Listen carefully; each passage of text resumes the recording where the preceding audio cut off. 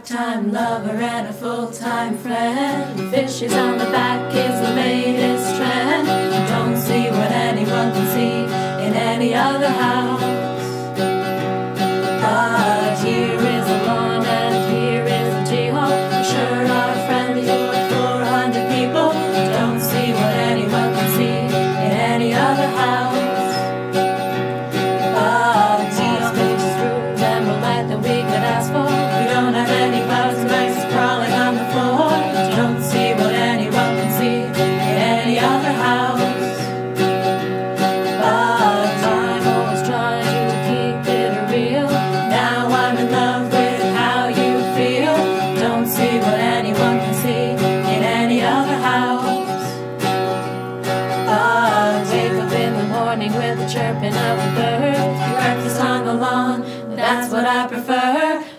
see what anyone can see in any other house.